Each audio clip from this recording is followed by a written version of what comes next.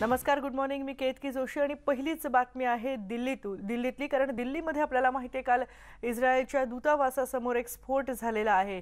के- आणि याच सगळ्या पार्श्वभूमीवर आज केंद्रीय गृहमंत्री अमित शहा यांचा पश्चिम बंगाल दौरा रद्द झाला आहे आज आणि उद्या ते पश्चिम बंगालच्या दौऱ्यावर जाणार होते मात्र हा दौरा आता रद्द झाला आहे दिल्लीत शुक्रवारी संध्याकाळी एक बॉम्बस्फोट झाला आणि याच पार्श्वभूमीवर शहा यांचा दौरा रद्द झाल्याचं सांगण्यात येत आहे दिल्लीतल्या सुरक्षेबाबत अमित शहा आज देखील महत्त्वाच्या बैठका घेणार असल्याचं कळत आहे शुक्रवारी रात्री उशिरापर्यंत अमित शहा वरिष्ठ अधिकाऱ्यांशी चर्चा करत होते.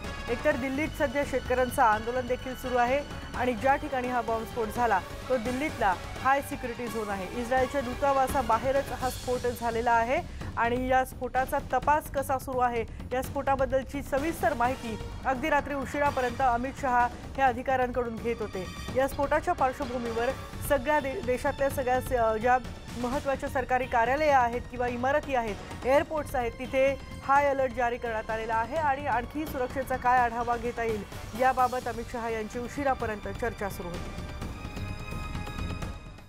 तर दिल्ली पोलिसांच्या सूत्रांनी दिलेल्या माहितीनुसार इस्रायली दूतावासा शेजारी झालेल्या स्फोटात सापडलेल्या सीसीटीव्ही फुटेजमध्ये एक टॅक्सी दिसली आहे यामध्ये दोन लोक या टॅक्सीमधून घटनास्थळी दाखल झाले आणि त्यानंतर ही टॅक्सी रवाना झाली. विशेष सेलनं या कॅब चालकाचा शोध घेतला आणि त्याची चौकशी देखील केली आहे. आरोपी संशयितांसाठी एक ब्लूप्रिंट तयार करण्यात आली आहे. जे पत्र सापडले त्याचा देखील शोध घेतला जातोय. आपल्यासोबत आहेत आमचे प्रतिनिधी प्रशांत लीला रामदास. प्रशांत अर्थातच सुरक्षा आता तिथे वाढवण्यात आलेली असेल.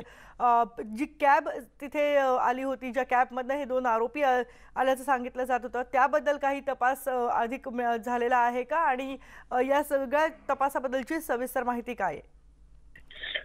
महत्वाचं म्हणजे केतकी जसा उल्लेख आपण केला होता काल इस्रायली दूतावासाच्या बाहेर सायंकाळी पाच वाजून पाच मिनिटांनी एक बॉम्बस्फोट झाला होता. हा लो इंटेन्सिटीचा बॉम्बस्फोट होता. पण घटनास्थळाहून ज्या पद्धतीने पुरावे आढळलेले आहे त्यामध्ये काही एक पत्र आढळलं आहे जे इस्रायली भाषेत लिहिलेलं आहे. सोबतच काही बेरिंग देखील आढळले आहे आणि काही छर्रे देखील जे असतात ते आढळलेले आहे.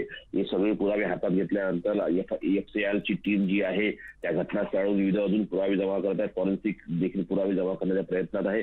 दरम्यानच्या काळात दिल्ली पोलिसांच्या वतीने जे स्पेशल सला आहे त्यांनी चौकशी प्रारंभ केलेली आहे. काल रात्री उशिरापासून त्यांनी प्रारंभ केली आणि काल त्यांच्या पुढे जे सीसीटीव्ही जे फुटेज आढळलेले आहे त्या फुटेजमध्ये महत्वाचं म्हणजे जर बघितलं तर एक गाडी जी आहे त्या घटनास्थळावरती आलेली आहे आणि जिथे बॉम्बस्फोट झाला तिथे दोन लोक उतरले. त्यांनी तिथे बॉम्ब प्लांट केला आणि त्यानंतर ते पायदळ तिथून निघून गेल्याची माहिती पुढे आलेली आहे. त्या या सीसीटीव्हीच्या आधारावरती त्या कार चालकाची ओळख पटलेली आहे. त्या कार चालकाला कडून माहिती घेण्याचा प्रयत्न सुरू आहे आणि जे लोक दोन लोक याच्यात होते त्यांची देखील छायाचित्र किंवा चित्र बनवण्याचा प्रयत्न दिल्ली पोलिसांच्या वतीने केला जात आहे.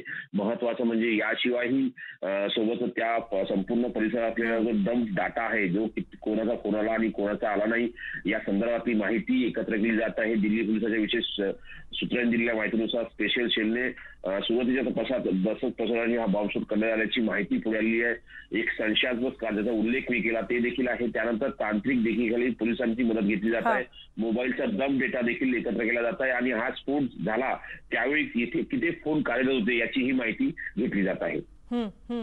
धन्यवाद प्रशांत आणि याचे अपडेट्स आम्ही तुझ्याकडून घेत राहणार आहोत. आपल्याला माहिती हा स्फोट झाल्यानंतर देशातल्या सगळ्या महत्त्वाचे अ, इमारती असतील सरकारी इमारती असतील किंवा एअरपोर्ट्स असेल आणि अन्य संस्था असतील तिथं हाय अलर्ट जारी करण्यात आलेला आहे. आणि दुसरं महत्त्वाचं म्हणजे आता सी